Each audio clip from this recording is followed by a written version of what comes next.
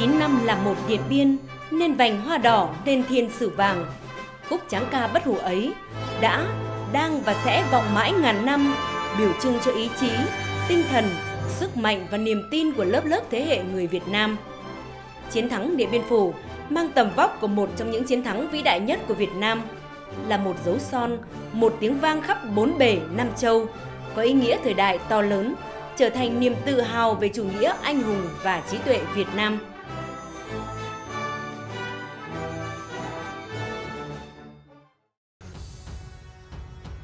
Toàn dân tộc chọn niềm vui trong ngày đại thắng,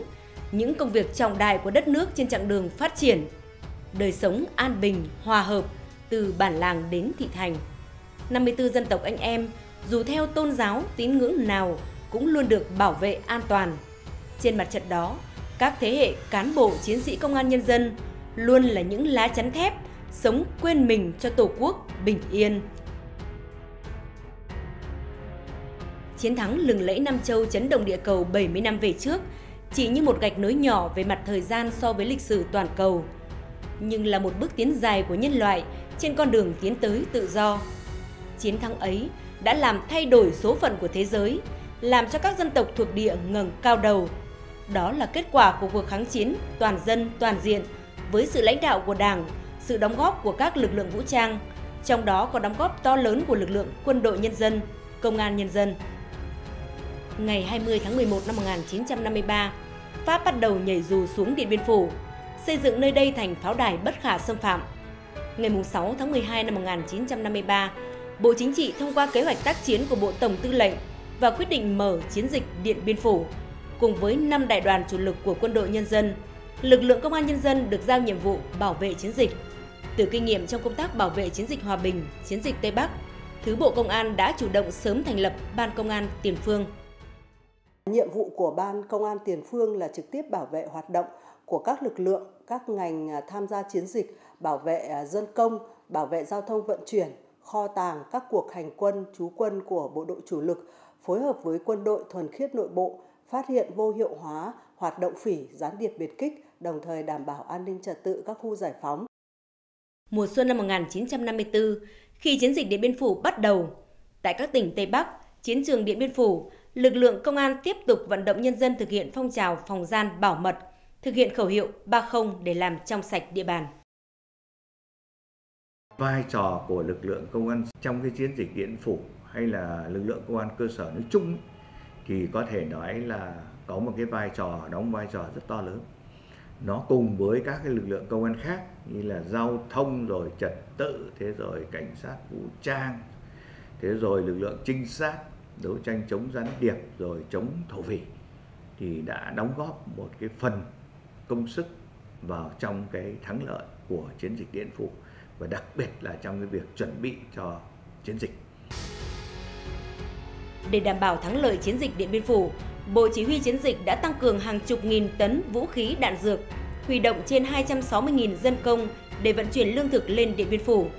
Lúc này, thực dân Pháp tung nhiều toán gián điệp, cài người vào nội bộ ta thu thập tin. Bằng các biện pháp nghiệp vụ, lực lượng công an đã xây dựng được các hành lang an toàn để chi viện cho tiền tuyến lực lượng công an phối hợp với các lực lượng tấn công quyết liệt, mạnh mẽ khiến cho bọn phỉ phải rút vào rừng, vận động nhân dân có người thân đi theo phỉ, kêu gọi à, đối tượng phỉ ra đầu hàng cách mạng, góp phần phục vụ chiến dịch Điện Biên Phủ. Đã bắt được hai vụ quan trọng. Một là vụ gián điệp biệt kích nhảy dù xuống mương ó, Thuận Châu. Hai là khống chế cái toán gián biệt ừ, ờ, biệt kích hỗn hợp nhảy dù có bi số TN25 ở cửa ngõ ra vào chiến khu đây là hai cái vụ án rất quan trọng. Tại Thuận Châu là chúng đưa gián biệt biệt kích nhảy dù xuống để ngăn cản cái mục tiêu mà ta sẽ vượt qua đèo Pha Đin để đưa lương thực thực phẩm vào. Thứ hai nữa đại từ Thái Nguyên đấy là chúng chặn cái cửa ngõ quan trọng bậc nhất đi lên chiến khu. Thì có nhiều vụ nhưng đây là hai vụ điển hình mà nhà uh, ờ, Bộ Công an và Ban Công an Tiền Phương phối hợp giải quyết được. Lực lượng công an của chúng ta đã thực hiện à, những cái phương án và những cái um, kế hoạch để truy quét uh, gián điệp và uh, phá chống phá được 5 tổ chức gián điệp của quân pháp và biệt kích của uh, quân tưởng và ngoài ra thì công an của ừ, Điện Biên đã tổ chức nắm các âm mưu uh, phối hợp với lại uh, các đơn vị bộ đội của chúng ta để uh, chống đối tượng phản động phá được bảy cụm phỉ lớn và tiêu diệt và bắt sống ra được ờ, rất nhiều tên phỉ uh, ờ, góp phần vào cái ờ, giữ vững an ninh trên địa bàn.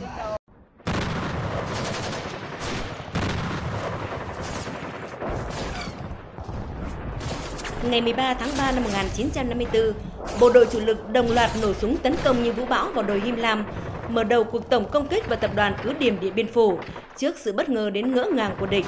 Vì trước đó, cùng với quân đội nhân dân, lực lượng công an nhân dân đã bảo vệ tuyệt đối mọi bí mật quân sự, mọi hoạt động di chuyển quân, quét sạch các cơ sở do thám gián điệp phản động. Sau 56 ngày đêm, khoét núi, ngủ hầm, mưa dầm cơm vắt, đầy hy sinh oanh liệt. Chiều ngày 7 tháng 5 năm 1954, quân ta đã cắm lá cờ quyết chiến quyết thắng lên nắp hầm của tướng The Castry. Chiến dịch Điện Biên Phủ đã kết thúc thắng lợi. Những dữ liệu lịch sử để lại đã khẳng định một trong những yếu tố khơi dậy tinh thần sức mạnh của toàn lực lượng công an nhân dân, góp phần làm nên chiến thắng Điện Biên Phủ chính là sự phối hợp chủ động, kiên định và đúng đắn trong công tác chỉ huy, chỉ đạo của lãnh đạo Bộ Công an với Bộ Chỉ huy Chiến dịch xuyên suốt trong chiều dài của kháng chiến chống thực dân Pháp xâm lược, mà đỉnh cao là cuộc tổng tiến công Đông Xuân 1953-1954 và chiến dịch Điện Biên Phủ 56 ngày đêm. Người ta cũng nói là cái chiến thắng Điện Phủ chính là chiến thắng, là đỉnh cao của chiến thắng, gọi là chiến tranh nhân dân ừ, chống xâm lược. Và lực lượng công an chúng ta cũng đã có một cái đóng góp rất là xứng đáng. Tự hào ôn lại những chiến công oanh liệt, thành tích vẻ vang đã đóng góp xứng đáng vào thắng lợi của chiến dịch lịch sử này.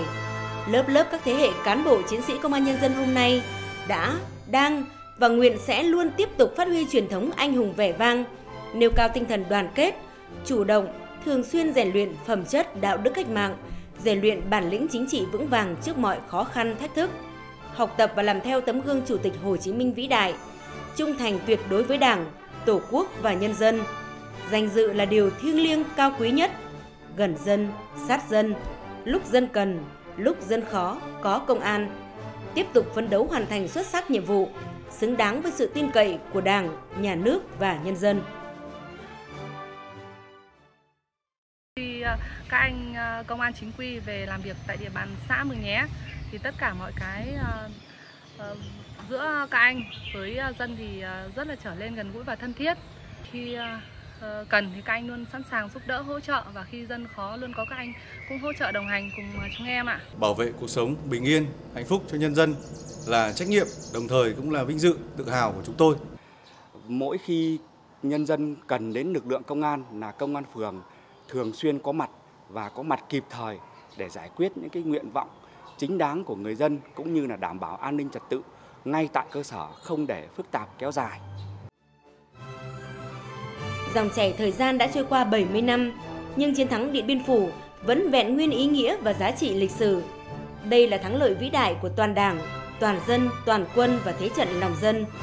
Đồng thời, cũng là thắng lợi của các lực lượng yêu chuộng hòa bình dân chủ trên toàn thế giới, kết thúc thắng lợi của kháng chiến chống thực dân Pháp xâm lược và can thiệp của Mỹ.